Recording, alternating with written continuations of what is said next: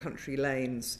You know, we're not talking active travel probably probably, but within villages and towns. What can be done in rural areas uh, to make it easier for people to walk and cycle to local amenities and nearby places uh, a, a, a few miles um, away?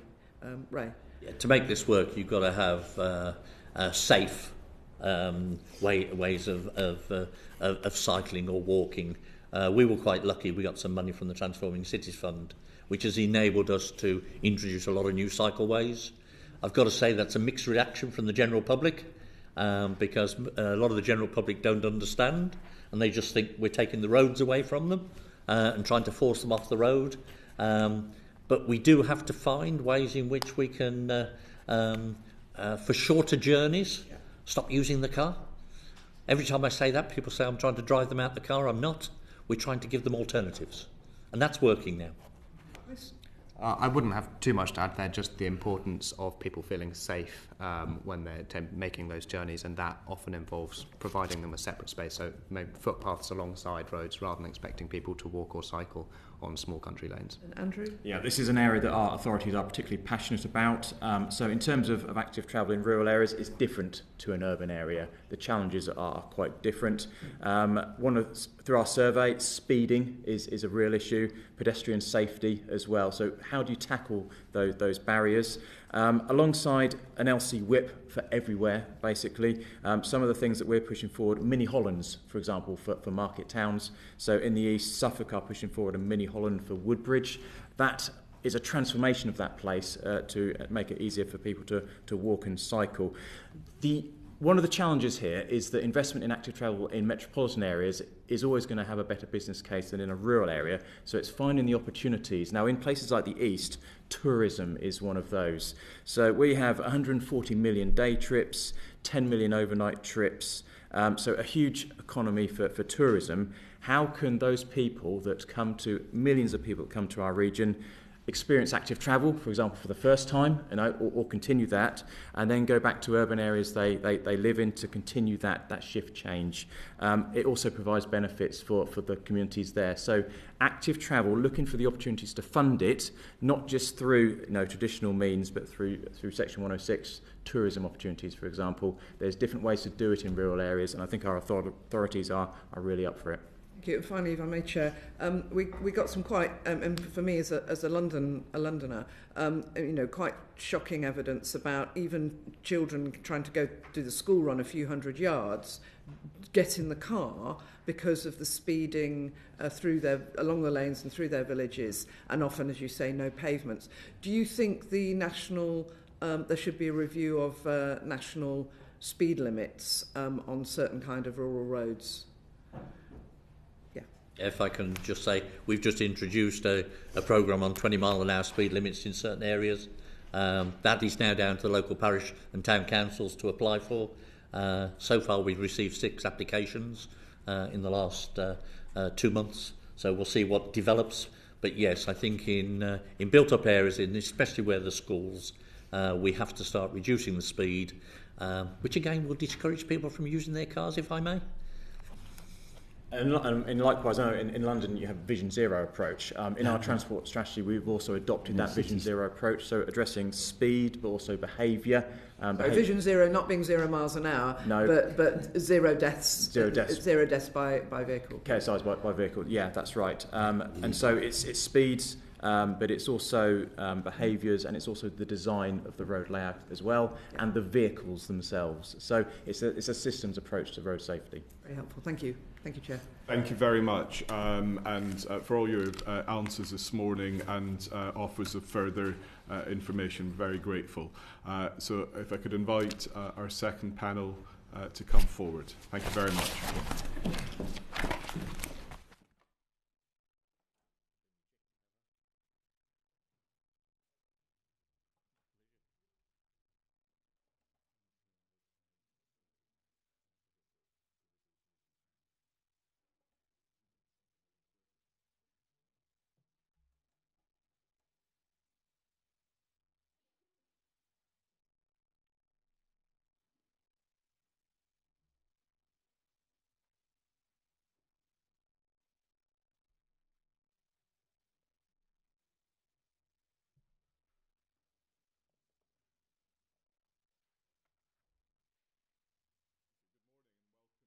Our second panel.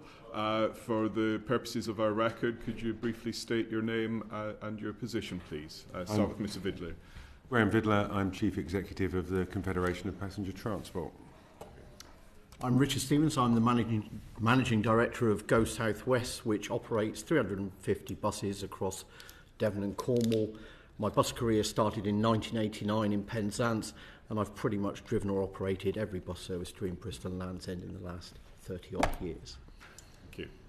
Mark Hopwood, excuse me, Mark Hopwood, I'm the Managing Director at Great Western Railway. Great. Thank you uh, very much for your time uh, this morning. Uh, before we get into the, the specific issues of uh, different modes of transport, just uh, looking at the uh, service provision as a whole over the last decade, uh, do you think rural areas uh, the service has improved, got worse, or stayed about the same? Uh, I think if I can speak firstly to the national picture in terms of bus services, uh, we've seen two periods in terms of the level of bus, pro- bus provision. So in the decade leading up to, pan- uh, to the pandemic, we saw local authority routes cut by about a half, and that was a response to the difficult funding environment that local authorities were in at the time. Commercial services actually increased slightly over that period. What we've seen since the pandemic started uh, is the, the same pattern in terms of local authority su- supported services. They've stayed fairly stable, but the mileage that has been provided on commercial routes has also been reduced. And that's been done through a careful process with operators working with their local authorities to decide where reductions are which need to be made because of the funding pressures the industry's under are made. So we've, we've had rural, rural bus services reduced twice over that period, once because of local authority funding, once because of the very profound consequences and changes of the pandemic. Thank you. Uh, Mrs. Stevens. Yes, I, I mean, I would echo a lot of what Graham's just said. I mean, in my area, I'm blessed with some very proactive local authorities in Devon County Council and Cornwall County Council. Even there, we've seen some reductions in rural bus mileage. Uh, there's no doubt about it. The pandemic has sort of given us a really tough time, and the sort of the coming back out of that, we're managing to operate in Cornwall 95% of the contracted network, at, as was anticipated pre-COVID. Um, whereas in Plymouth we're around 80% and, and the rest of Devon's around 80% of where we would have been. Um, very excited about the national bus strategy. And uh, I think that that sets out an opportunity for all of us and a focus that we can address some of the decline that we've seen in rural areas over the, over the years. So I'm looking forward to exploring your questions as we go through this morning. Thank you. And Mr. Hopwood.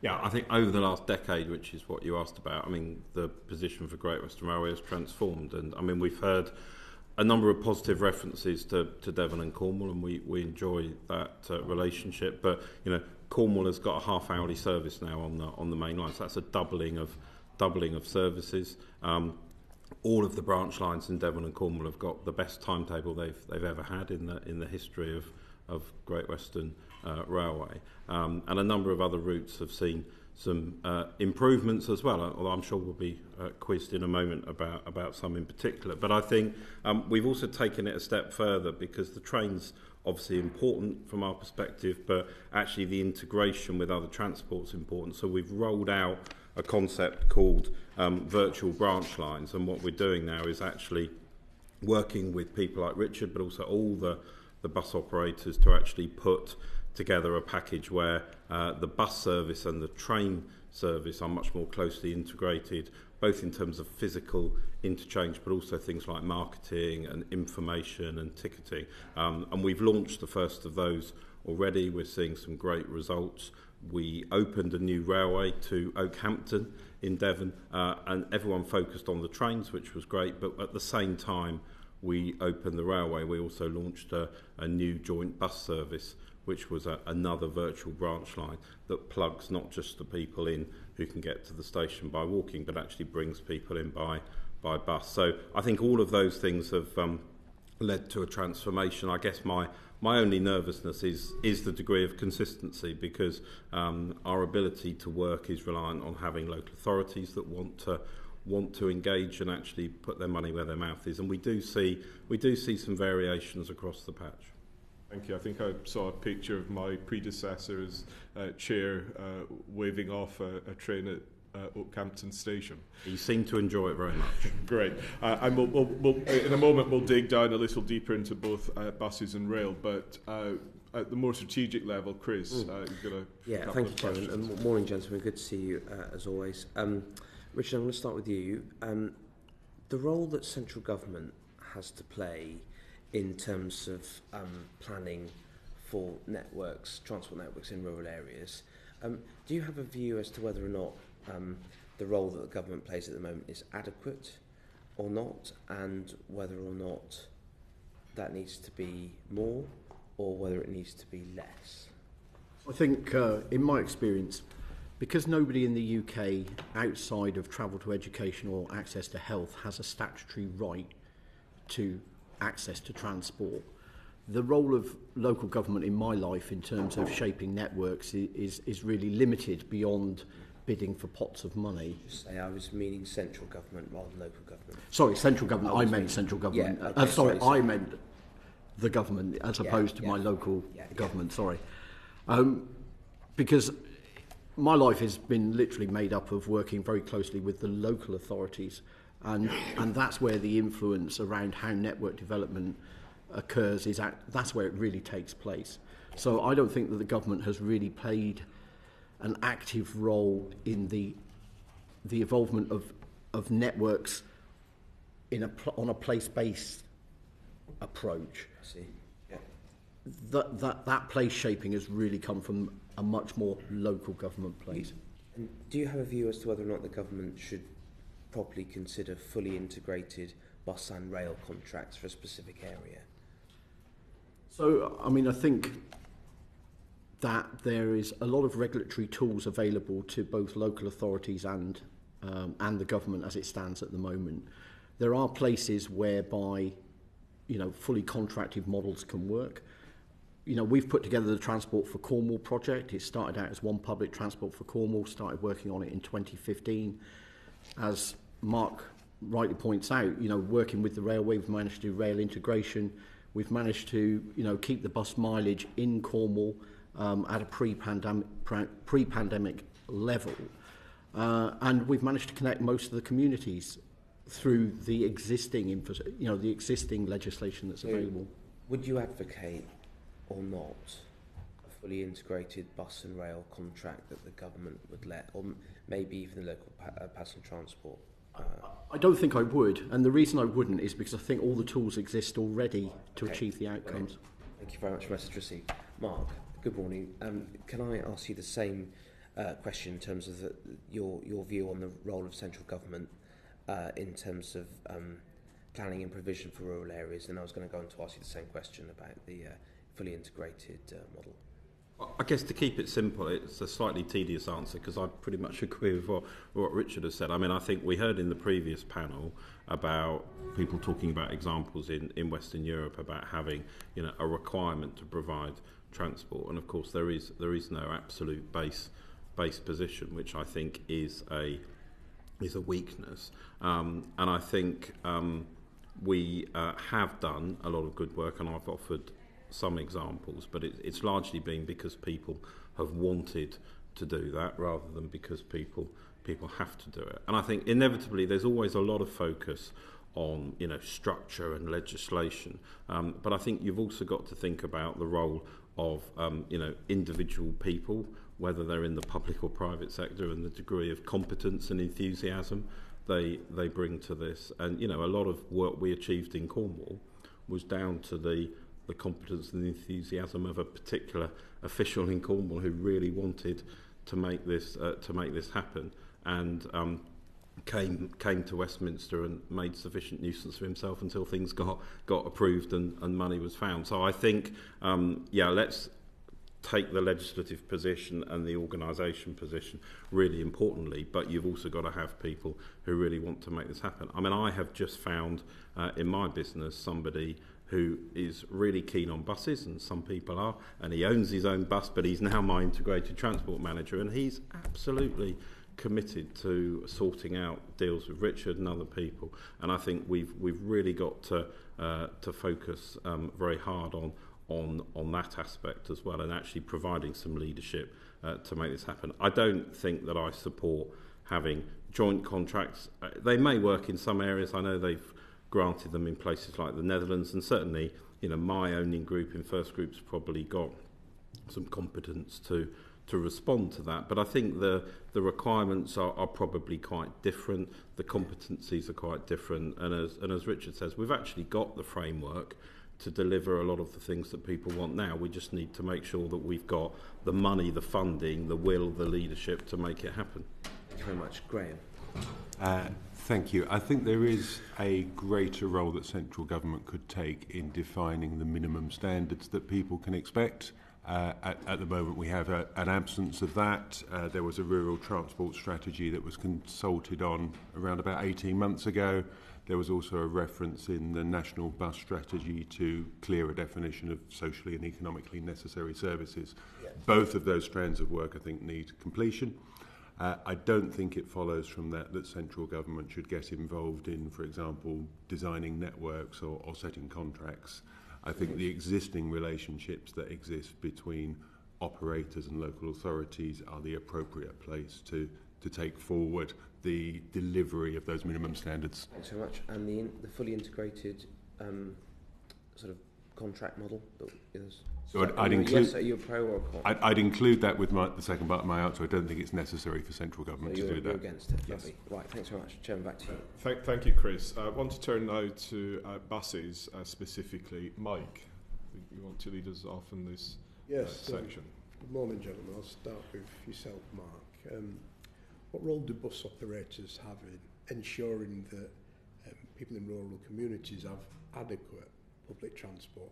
And when it comes to making a decision around the withdrawal of services, is commercial viability the only driver there? Start with yourself. With me? Uh, well, I mean, I'm a I'm a train operator, so um, I mean, we work very closely with bus operators, but I'm not really involved in looking at, at, at, at some of those matters. I think you know our our focus on uh, working with bus operators has been trying to you know ma- maximize the advantage of, of where they've currently got networks that can be tweaked to serve to serve stations. Um, and you know our story fortunately across most of our patch has been about one of of, of improvement rather than retrenchment. But the issues that the bus operators face uh, in those circumstances I think I think the bus operators would have to respond to that. Uh, you've, you spoke about good cooperation between um, yourselves and the local bus operators, and you've got that interdependency, haven't you? So, again, if there is a decision to withdraw services, then that's uh, a channel of communication, effective communication you have in the patch.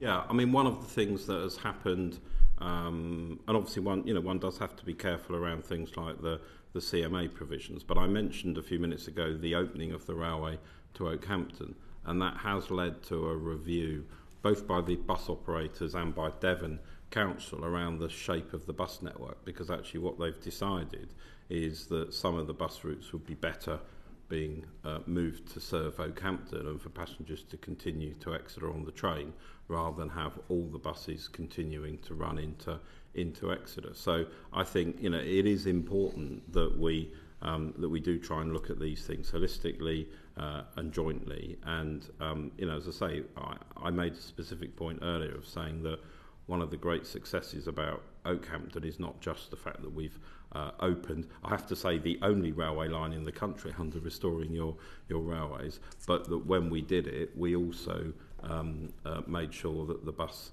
uh, services uh, were, were improved at the same time. It's a really good question, and, and I think, you know, the answer is that we take into a realm of factors when we're considering network um, design. I mean, I'm a busman. I want to run buses. The last thing I want to do is take them out. I want to put them in. I, you know, I want to double the number of buses that are running across Devon and Cornwall, not not reduce the number. Um, patently, we have to make a return on our investment. You know, when I mobilised the Cornwall contract, which required uh, 150 buses to be provisioned within nine weeks, my company invested 20, over 20 million pounds in, in Euro 6 um, vehicles, compliant vehicles. Um, there's a massive commitment there to what is a rural network. In fact, I need it to succeed, otherwise I won't have a job. So, you know, I mean, we've done some reshaping of the network um, towards the end of last year, and we've managed to keep the lines on the map, but there has to be a creativity around how we make these networks um, function. And as part of that work, it's, um, we've worked really heavily to integrate school transport statutory school movements into the bus network so that the the school movement is helping to contribute to give rural connectivity in the off-peak and around those school movements. So all the school contracts, we, we managed to integrate over 120 school contracts into that network, which are now helping to support the bus network. So the answer to your question is we take into to account a range of factors. Money is one of them, but also how do you how do you maintain a network provision because it, otherwise it just becomes a self-fulfilling prophecy of cuts if you just go service by service so it's a network approach to decision making and, and of course, what Richard uh, relates in his experience in the southwest is what's been happening nationally as well. So across the country, bus, bus operators have been working with local authorities. Specifically, we, we did a program of sustainability reviews last autumn, which looked not just at individual routes, but at the network as a whole, not just at commercial viability, but also at the needs and preferences of local communities and local stakeholders. That didn't mean that we could keep every single service going that previously went, far, far from it. The changes which have taken place since the uh, pandemic are so profound that, that we can't do that. But it does mean that we, we took into account as far as we could other considerations beyond commercial viability. One one for me is around the bus operators, the bus service operators grant, um, um, and those those reforms. How how What is the panel's view of that? I'll start with Brian and then Richard, yes? So did you say start with me, Mike? I, I lost you at that point. Yes. Um, so as we understand the government's plans from the National Bus Strategy, they want to transition bus service operators to a per kilometre basis as opposed to a per litre of fuel basis. The immediate impact of that will be to favour uh, bus services which operate in rural areas over bus services which operate in urban areas. Uh, that may well be a transition that government decides they want to make. We are urging them to protect the losers in that transition, which will be passengers on urban bus services. The same transition was made in Scotland a, a decade or so ago now, I think and there would have been very, very profound cuts to urban services at that time, or increases in urban fares, if the Scottish Government hadn't also put in place a dampening mechanism so that the, the losses in urban areas were protected. Very important that we do the same if the government decides to make the change in England. I mean, the bus service operators grant is is an imperative if we're going to protect and grow bus services. I mean, at the moment, We've also got the bus recovery grant uh, discussions that are taking place with the, the DFT um, about the cliff edge that's coming towards Morning us. and greetings from Exeter outside St David Station. Oh, Captain Rail. I was looking up There we the go. Captain Rail line. I did Live apologise. of the Transport Commission. Just, just as you're referring to a cliff Looking at edge Yeah, that's right. Yeah, that emergency. So, um, yeah, the, the bus recovery grant's due to end in March, and those discussions are taking place. We, we need to secure uh, an outcome from that. And it's being talked about using the bus, bus service operators grant as, that, as a potential mechanism for, for how we might continue to protect and grow uh, the bus services across the UK.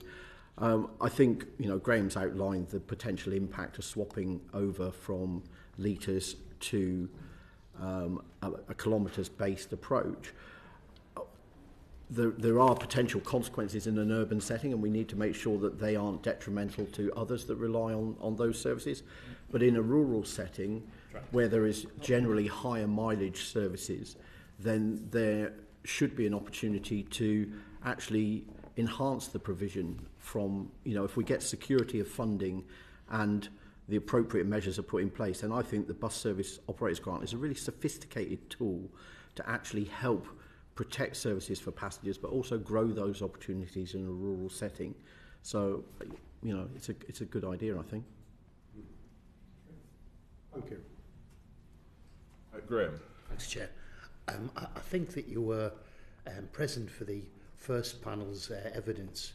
Uh, and just to follow up, uh, um, Councillor Bryan's uh, um, comment about trying to encourage people to make a conscious switch um, whether that's for financial reasons, for um, uh, you know, zero carbon target reasons or whatever. W- what's the impact of the two pound fare cap, cap in terms of encouraging greater bus ridership? Richard? Oh, sorry. Well, he's a bus operator. I'll come to you next, Graham. So, I mean, uh, as, as you heard before, it's early days. I mean, we were really, as operators, we were really excited about the scheme. You know, it's good for passengers in as much as it's helping them with the cost of living crisis. Um, in terms of its ability to generate modal shift, it's three months. It's not long enough, in my opinion, to ach- achieve modal shift. What's happened in my own company is that it's not actually at this stage growing additional passengers, but we have seen uh, roughly, well, actually, roughly, I wrote it down, so if I can find it on the page, it won't be rough. Um, the the take up of singles sold has risen by 4.1 percentage points. So the actual share uh, of tickets purchased on singles on the £2 fare has increased. But that has been from channel swapping away from weekly and monthly tickets. So people have moved basically to the best value fare.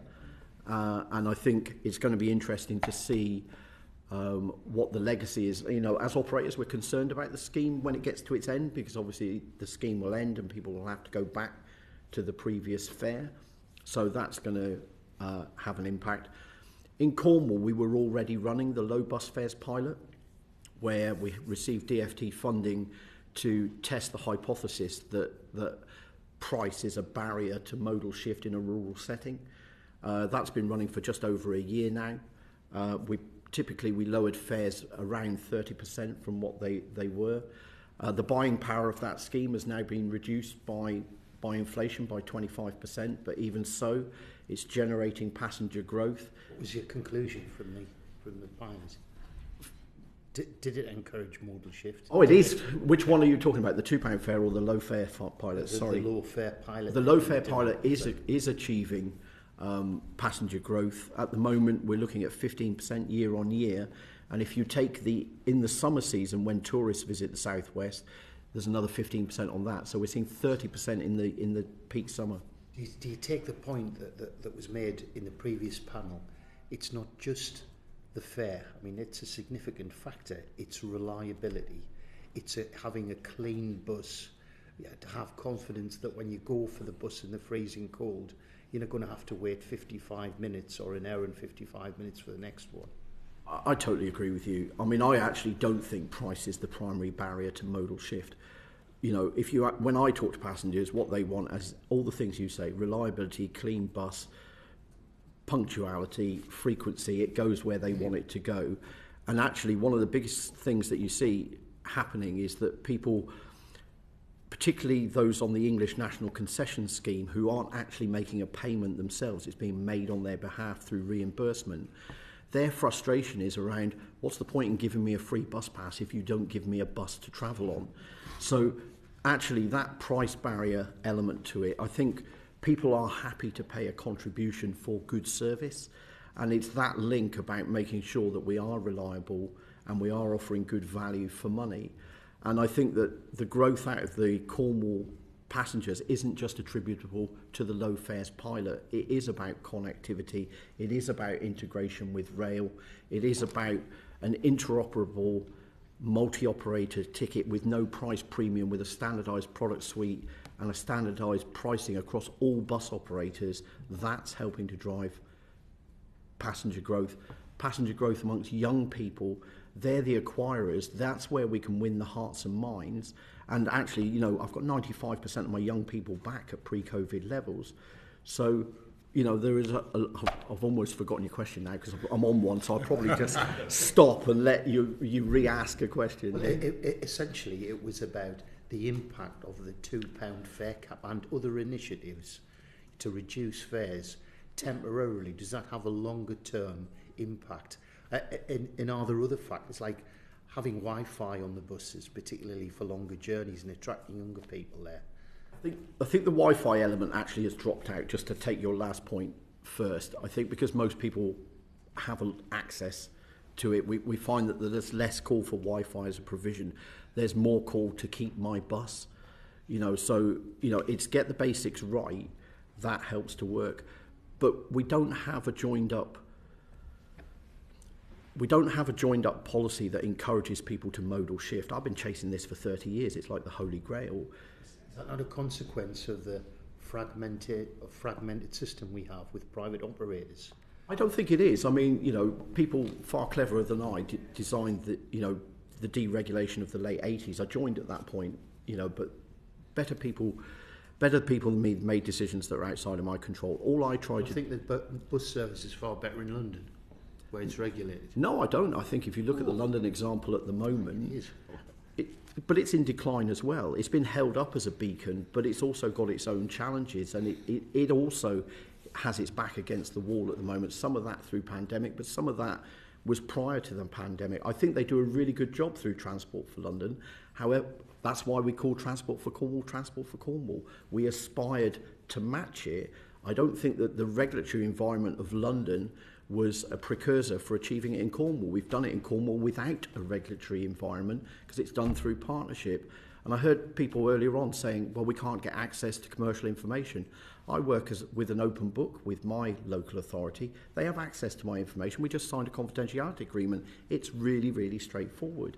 You know, so they have the access to the same materials. All our planning meetings about services and route changes are all done in the same room. Perhaps you might have a, a word with your Oppo in Go North East then about that. Graham, can I, can, I, can I ask a similar question to you? And, uh, and there have been other schemes, haven't there? For example, I, I think in Greater Manchester, there, there was a discounted scheme. And yep. what, was, it, was there a, a positive feedback from that in terms of encouraging modal shift? So there, there's a variety of schemes at the moment. There is the national three-month, £2 fare cap. There are long... It's going to be a year originally, wasn't it? Uh, I, I believe it was, yes, yeah. when uh, Grant Shapps first mooted it. Um, there are also longer lasting schemes in West Yorkshire, Greater Manchester, and Merseyside. Um, it is if we take the, the national fare cap scheme first, the, the primary intention of that is to support people during the cost of living challenges of this winter. It's clearly doing that, and it will particularly be doing that in rural areas where fares tend to be higher because they're longer journeys, so, so people will be benefiting particularly strongly from that. Uh, I haven't seen any evidence yet that that or the other fare schemes are having a material impact on passenger numbers or indeed modal shift to build on something that, that Richard said, I think the key drivers of bus usage and uh, therefore modal shift are, are clear if you look at years and years of transport focused research, for example. Is there a bus service at all? How frequent is it? And how quick and reliable is it? That, those are the three things. Price is important, but those are the three things that really drive change. And we will see areas that through the national bus strategy and investment in bus service improvement plans can deliver on all those fronts and we will see growth in those areas. Fares alone won't do it. Just on, on that same um, idea, it, it, what, what can we learn from what's happened in the pandemic and the application of, I don't know, um, uh, passenger responsive services, you know, new apps.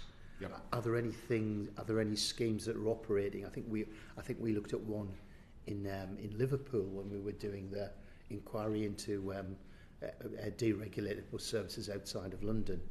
Are, are there any any positive lessons that the operators are, are, are learning that might improve the service yep. to the passenger and increase uh, uh, uh, bus ridership. Yeah, so the, the, the lesson I'd focus on is actually quite a, a, a dull regulatory one, I'm afraid, and, and it's about the extent to which operators and local authorities have worked in partnership.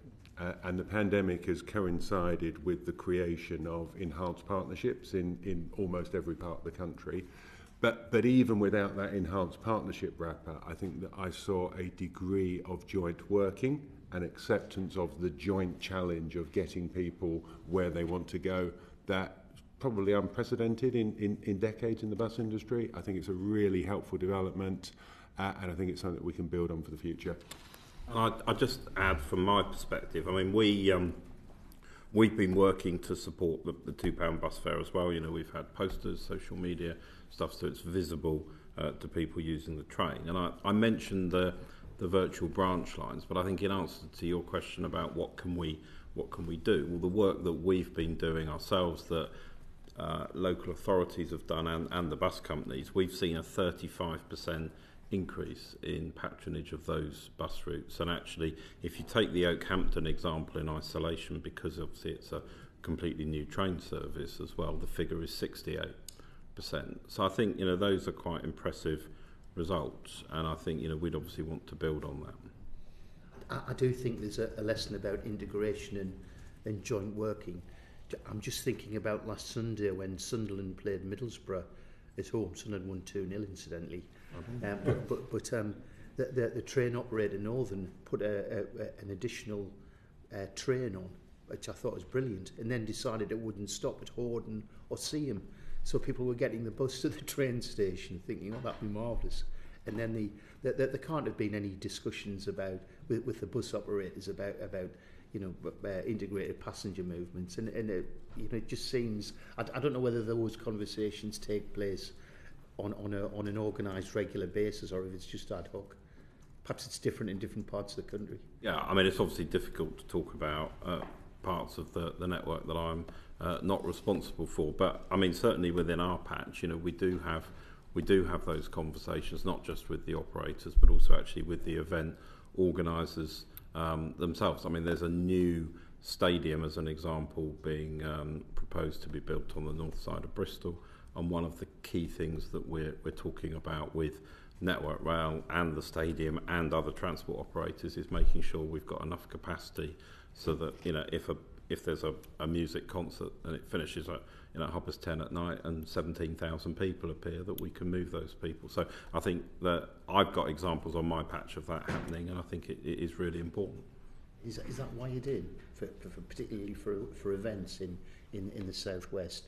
That, do you have a kind of a, I don't know, a gold command discussion with the it- with the bus companies? Yeah, I mean, I, I wouldn't necessarily use as, as grand a title as that, but we certainly have, you know, high quality conversations, don't we? About, I mean, we've got, um, you know, events in Cornwall, for example, in the summer with um, with Boardmasters where we have to adjust adjust the transport plan to, to fit with that. And um, you know, generally we've been we've been successful. Of course, we'd we'd always like to do more. And I think you know one of the things with um, you know investment in things like new sporting facilities, new concert venues, it's a bit like new housing.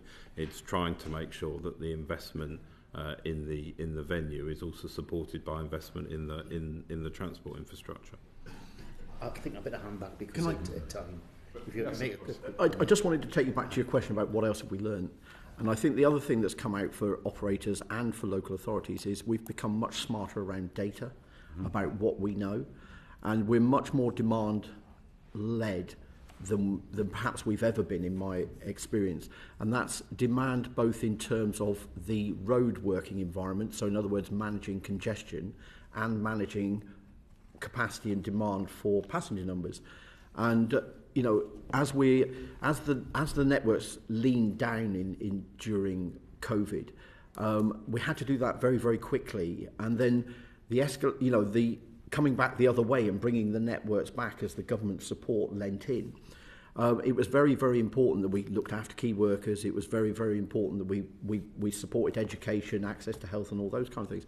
And I think the lessons we've learned out of there are probably some of the biggest that are going to present a, a benefit to us going forward as we design a better public transport network in the future. I think that we had an intensive learning through the pressure of COVID about how we use that data and share it with the passenger. So on my app, you can see all operators and watch your bus go around and see where it is. I think there's a fault with that because I've, I've tried to use that for the 65 and I think there's a ghost bus that appears to be coming and then never arrives unless it's rerouted. But, you know, just on that uh, uh, data sharing, going back to the old-fashioned method, i i are there, to go southwest do regular passenger surveys to ask what they think of the service? You know, when I've asked go northeast, uh, they talk about public consultations. Nobody bothers apart from me and a few other people. I know. But if the, I don't know whether they're frightened to ask the question because I think you get a shock with the response of uh, what the passengers think about this. I mean, we go ahead does and, and go southwest does uh, financially uh, add to the passenger focus surveys that take place. We also do our own surveys. I've got a chatter bus, I call it, which is a community vehicle. We go out and we sit in town centres and villages. Uh, bus shelters, and we talk to people about the bus service, what we've got, the, trop- the, the challenges they've got, and what we're trying to do. And I still drive the buses. So that's my best litmus test for hearing what people are saying about buses and bus transport. I think the deeper connected you get to it, um, the more chance you've got of actually delivering on the needs of, of people rather than doing it to them. You've never mentioned the availability of drivers, which was something that was brought up previously. Uh, you know how difficult it is sometimes to attract uh, um, um, drivers to provide the service, even when the funding's there. I think that has been a challenge. and, You know, it certainly was a challenge in my organisation leading up to September, but that's stabilised now. I mean, I had over 100 applicants over the Christmas period. I've got more applicants than I've got vacancies. My organisation is just about a full establishment now, and that is really, really pleasing because we are, you know, we are delivering a much more reliable service than, than we were in sort of the autumn of last year. But that that driver shortage was, you know, had so many component parts to it. It wasn't a simple fix, but we are, you know, I think it's fair to say that the recruitment element of the crisis is coming to an end. The next challenge is how we convert those applicants into new bus drivers, because I think that the market for existing bus bus drivers has really stabilised and people are sitting tight in their jobs. Th- thank you, Greg. Greg, turn to you. Uh, thank you, Chairman. I want to move us specifically onto rail. Uh, some of the answers that came out in the last s- set of questions around integration and, and so on, actually, we may have covered some of the ground. But, uh, Mark, particularly in terms of the train operating companies, yours and the others, what, what role do you have to ensure that rural communities are adequately provided for? I mean, I guess we've got we've got some different roles. I mean, first of all, there's uh, whatever's written in our contract um, has to be provided, and you know, there's a base level of of service provision. So, uh, I mean, we've heard about punctuality and reliability. You know, I think that's tremendously important, and uh, I think we need to deliver what we've said we'll deliver as part of the base provision. Of course, not everyone likes what the base position is, uh, so there's then an obligation on us, I think, to engage with um, a variety of people. I mean, local authorities, uh, other, uh, you know, subnational transport groups who were sat here uh, earlier. Uh, sometimes I think, you know, representatives of the of the business communities and uh, other people who potentially want to. Express a view but also people who potentially have funding and I think we need to then deliver um, the improvements that those people can either fund themselves which in some cases they have or that they're able to persuade central government uh, to fund. And um, you know, I've given some examples this morning of where we've been doing that, and no doubt there are others. Can we switch the focus a little bit then to how the actual adequacy of a service, particularly to rural communities, small market towns, villages, actually be assessed? How, how, are the, how do you go about that analysis of what is the best frequency? How many seats should be available on a particular uh, service? How long should a journey time realistically be from a, a small market town, let's say, to the nearest city. Yeah, and I, I mean, I guess if we're honest, you know, we, do, we don't start off with a, a blank sheet of paper uh, at each at each timetable. I mean, if we're if we are honest, there is you know a degree of historical inheritance that you know people have got the railway lines they've got they've got uh, a service. It, it is quite difficult sometimes to restructure timetables in a way that involves having winners and losers because the winners are very happy to take their improvements and people are reluctant to see anything reduce. Um, and actually, you know, some of you, you talk, for example, about journey times. I mean, journey times are generally a reflection of the the capability of the infrastructure. So, you know, I mean, I, I was recently in Devon talking to a number of stakeholders who represent people who use the, the line out to, to Barnstaple, and, and that journey time is, is around about an hour. That's a lot longer than people would like because we have to stop to collect uh, single line tokens. So even in 2023, we're still handing drivers pieces of metal from a Victorian signalling system. And we also have to operate the level crossing barriers ourselves with our own staff. So the train has to stop and that has to happen and the train proceeds. So clearly with investment, you could, you could reduce the journey time by eliminating eliminating those those tasks. I think in terms of capacity, I mean to some extent these things are are self-evident. You know, trains uh, have got busier and busier, and uh, certainly if you take what we call the Devon Metro, which which in some cases isn't very metro, it's quite rural, but services out uh, from Exeter. Um, you know, we, we've seen over the last decade just continuous growth, so we've had to keep finding ways of securing more more rolling stock. And what was a, a two car network is now generally a four car uh, network. So um, that that that work obviously just reflects growing customer demand, and I think we've also got better at understanding where future demand's coming from. So we know where things like housing uh, are being built. I mean, we've driven some of this demand ourselves, of course, because we're building new stations. Um, you know, and on Great Western, there's more new stations being built than any any other part of the network at the moment. But that that's important. People want to see that, but we've also got to make sure as we put the the station infrastructure down that we're supporting that with um, with the train service. Do you have incentives in your contract to to meet not necessarily the obvious running trains, but incentives to ensure that the customer experience is where realistic you want it to be, that someone turning up at a station has a realistic expectation of being able to sit down on that service rather than stand for an hour or, or, or whatever it might be?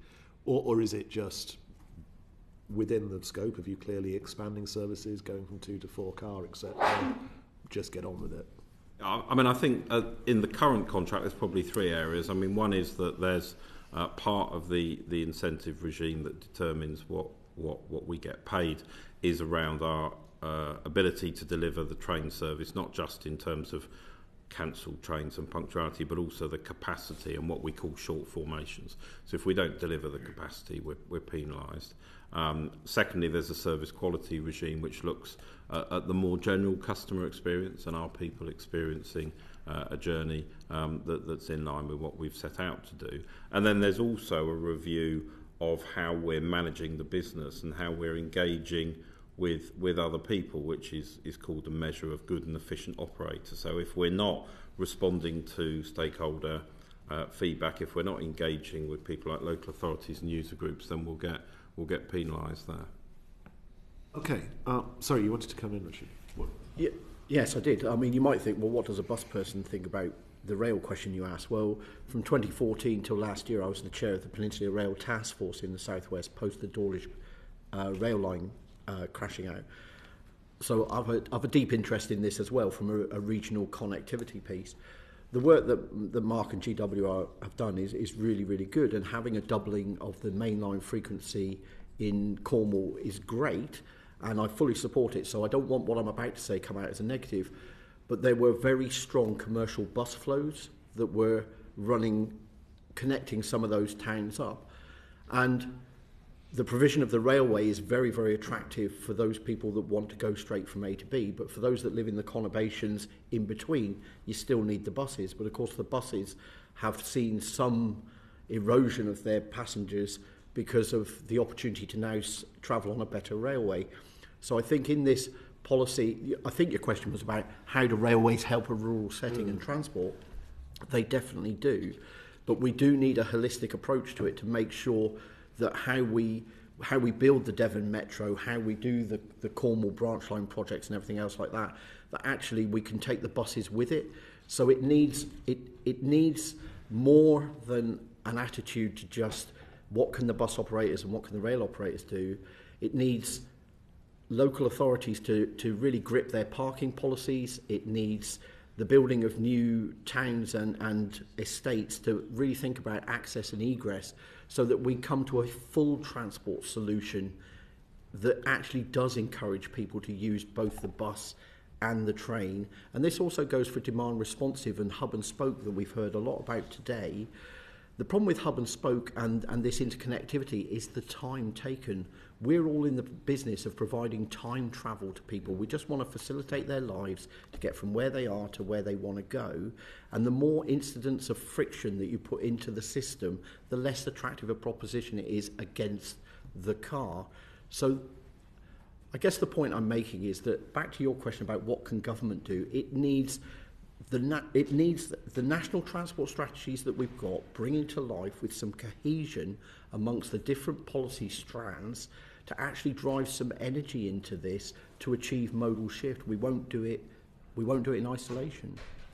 Okay, I accept that. With, with the, the clock ticking, I'm just going to throw in one last question uh, off the back of what you said. This uh, debate between car, rail, bus. Do you think more people would get on the train if the price to park their car at the train station wasn't almost as punitive as the ticket itself? Who wants to take that? Well, I, I mean, I'll pick that. I, I'm not aware of any examples where the, the car park uh, price sits in that uh, area in um, in my patch. Um, I mean, I think um, generally we've got certainly pre-pandemic. Actually, the problem that we had at most station car parks was that they were they were full. Actually, not that they were acting as a as a disincentive for people to travel. I mean, the the position has obviously changed a little bit with the, with the pandemic. I mean, certainly on my business, there has been an awful lot of investment in new car parking over the last decade. Um, and the expectation of, of DFT and government is that if we build that car parking, that we we recover the cost through uh, through the revenue uh, line. Um, but we, we recognise, I mean, ultimately, rail does have to be attractive. But I think certainly pre-pandemic, we were we were seeing very strong levels of growth uh, year on year. But even with the pandemic, again, if, if I go back to the Devon Metro, you know, they're now, they've recovered all the business they lost in the pandemic. They're above the pandemic levels. There's no evidence uh, that people are being discouraged from coming uh, to rail by that. So I think we've, as a group and as a company, we're really interested in mobility hubs and how we bring together the different touch points of the different modes of travel, whether it be walking, cycling, electric cars, go bikes, trains. And I think the work that we've been doing around enhancing that interchange experience, those remove the barriers for the desirability of the train or the bus And so, you know, we've got some money through Transforming Cities uh, in Plymouth in particular to put in mobility hubs with electric bikes and access to railway stations that are less used. So, you know, Devonport is an example on the, the outskirts of Plymouth. You know, that's a very deprived uh, ward within the city. And that, that interchange mode, I think, will, will generate that modal shift. And we're doing that in various settings across Devon and Cornwall. Graham, was there anything you wanted to add on this? or Nothing to add on that specific question. That's you, John. Uh, thank you very much, and uh, thank you very much for your time. I'm conscious of the clock, um, but I'd just like to conclude with one final question and quick, quick fire answers uh, to it. Uh, we understand the Secretary of State will be making his uh, announcement on the future of uh, rail reform uh, in the Bradshaw lecture in a couple of weeks' time. In terms of your ability to help uh, plan for pub- public transport to rural areas, what would you hope he would say in that?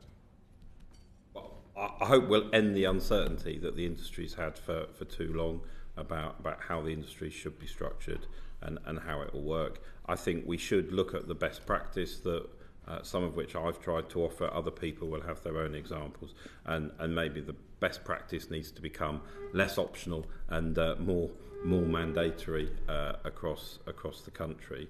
And um, you know there are some clear lessons from how we've delivered success, and I think we should make sure we have the right framework to keep doing that and do more of it. I can't add to that. I appreciate that. And I don't represent the rail industry either. So. We, we wait with bated breath uh, to see what is said. But can I thank you for your time uh, this morning? It's been a really interesting discussion uh, and uh, uh, highlighted a number of areas I'm sure we'll want to uh, continue discussing in the future. But for now, thank you again. Order, order.